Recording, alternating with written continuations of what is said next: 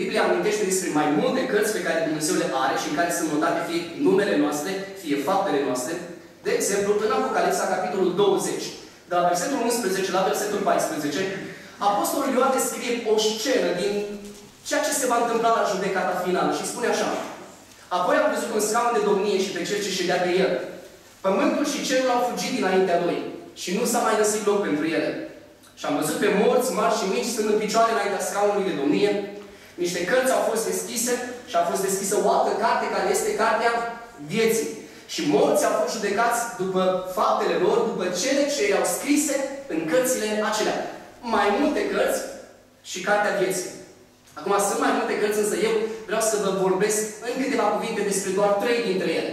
Mai întâi, o primă carte la care vreau să ne oprim este numită în Scriptură Cartea lui Dumnezeu. Sau atunci când oamenii lui Dumnezeu îi vorbesc lui Dumnezeu despre ea, spun Cartea ta.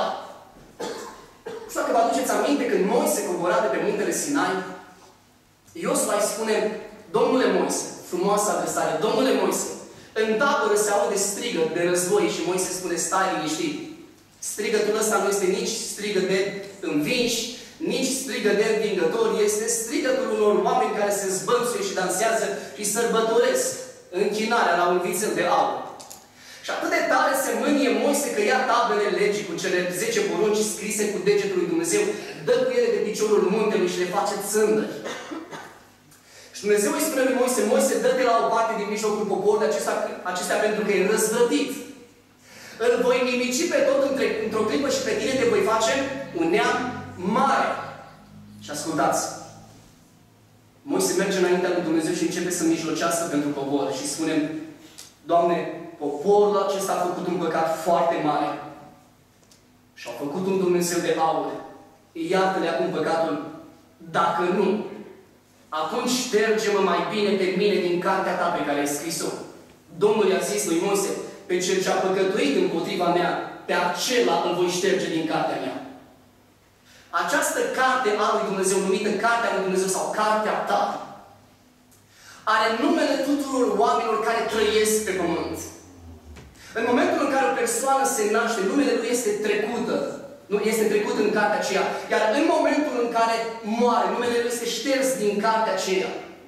Dragii mei, unii au spus că aceasta este cartea în care Dumnezeu are scrise numele celor credincioși și că este posibil ca Dumnezeu să-ți să șteargă numele din cartea vieții. Acum, gândiți-vă dumneavoastră, s-ar fi rugat Moise, cel care l-a văzut pe Dumnezeu față în față și vorbea cu Dumnezeu ca un om cu prietenul lui, s-ar fi rugat Moise vreodată ca Dumnezeu să ia mântuirea de la el?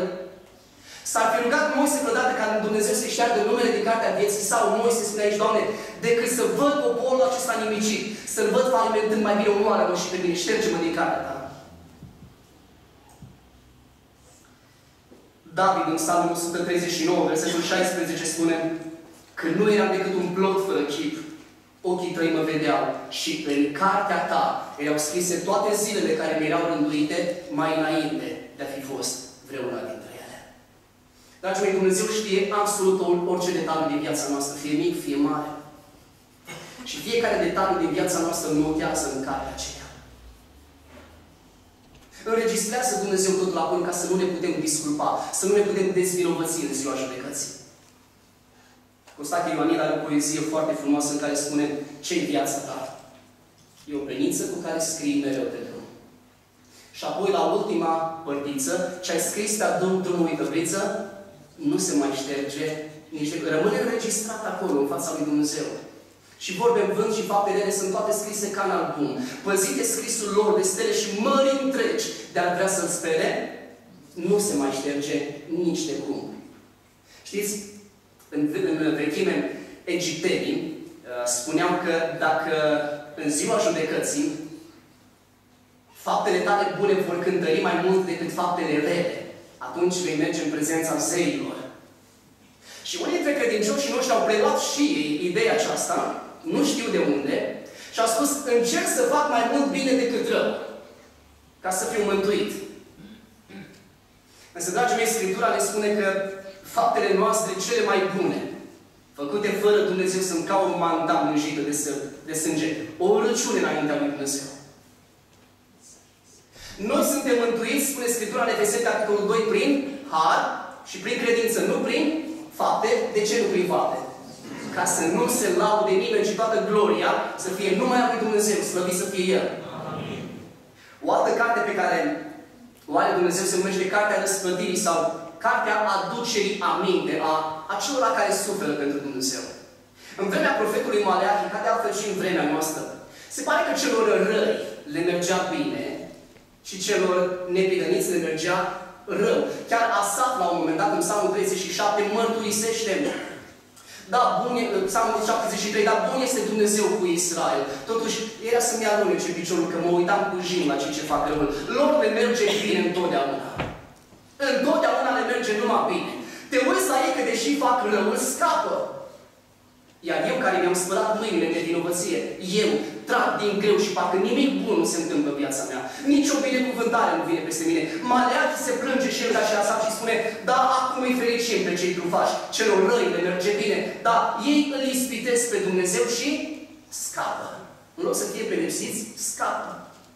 Însă Maleachi își aduce aminte de următorul lucru și spune atunci cei ce se tem de Domnul au vorbit adesea unul cu, cu altul.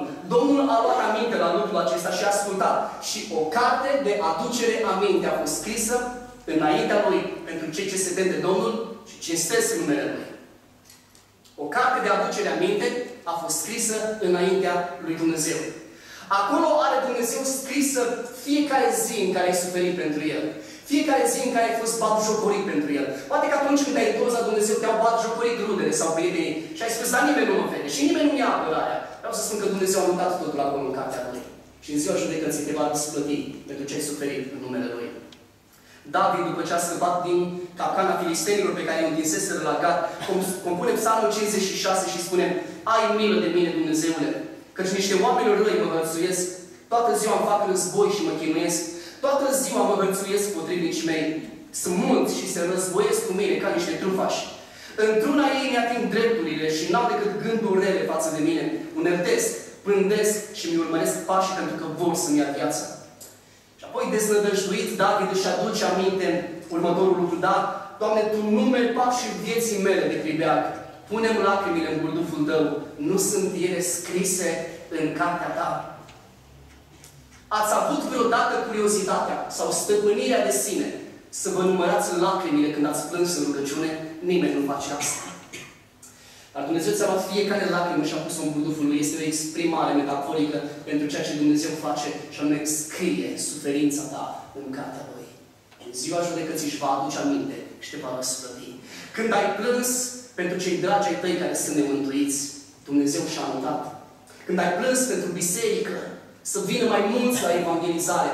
Dumnezeu și-a notat și lucrul acesta. Când ai plâns pentru orașul în care locuiești, să-L cunoască pe Dumnezeu și să nu mai fie atât de, de răzvrătit. Când ai plâns pentru țara ta să nu mai fie atât de idolatră, Dumnezeu a notat fiecare lacrimă, fiecare rugăciune în cartea Lui și în ziua veșniciei îți va răsplăti. Există o a treia carte și la aceasta o să mă opresc mai mult. Este numită Cartea Vieții sau Cartea Vieții Mielului. Dragii mei, în cartea aceasta a Vieții Mielului, sunt trecute numele tuturor celor răscumpărați prin sângele mielului. De aceea se numește Cartea Vieții Mielului. Aceasta este cartea în care Dumnezeu scrie numele celor mântuiți. Nume care nu se vor șterge niciodată. Cuvântul lui Dumnezeu spune următorul lucru în Apocalipsa, capitolul 20, versetul 15. Oricine n-a fost găsit scris în Cartea Vieții a fost aruncat în iazul cu foc. Și tot în cartea Apocalipsa Dumnezeu spune celui ce va birui.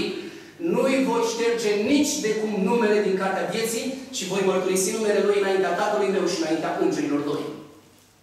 În cartea vieții mie lui Dumnezeu a luat numele tuturor celor ce și-au pus încrederea în Domnul Isus. Sunt mântuiți și nimeni nu poate să-i smulgă din mâna Domnului Isus.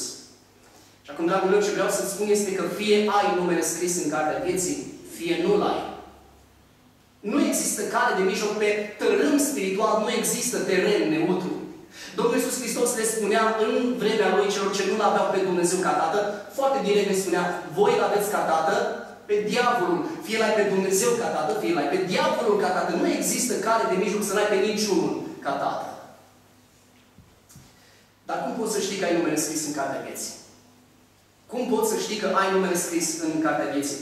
Este o întrebare un pic dificilă, însă vreau să ne uităm la ea în seara aceasta, să vedem dacă toți cei care suntem aici avem numele scris în cartea vieții sau nu.